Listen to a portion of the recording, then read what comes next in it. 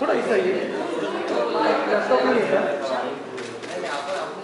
sir यहाँ पे सामने